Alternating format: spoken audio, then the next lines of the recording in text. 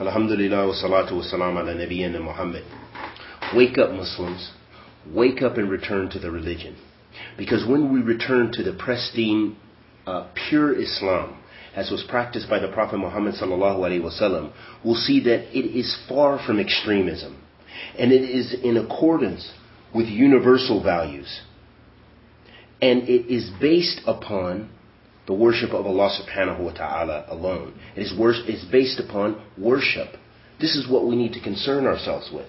Everything we do, from the way we interact with one another, the way we interact with other communities, is an act of worship if it is done to please Allah subhanahu wa ta'ala alone and in accordance with how the Prophet Muhammad sallallahu alaihi wasallam lived his life.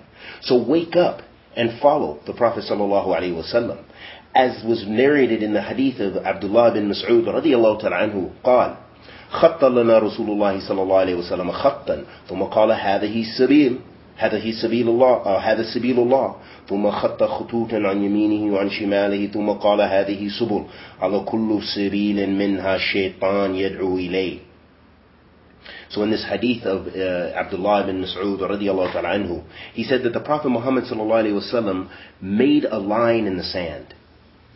And then he said that this is the path of Allah, n- noting that that's a straight path.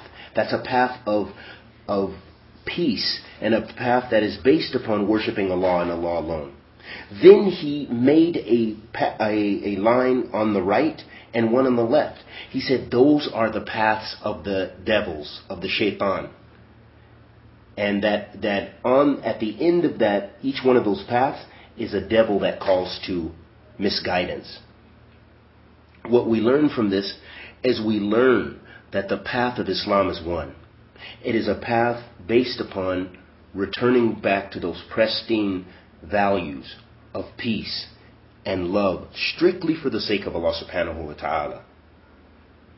And back to what?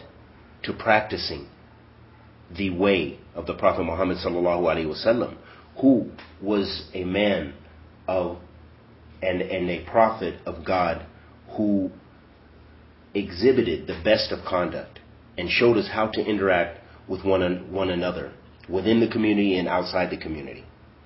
And stay away from those deviant paths. Those deviant paths are paths of extremism. And I ask Allah the Almighty to give us guidance and give us ikhlas with thabat. Wa sallallahu wa sallam ala Muhammad.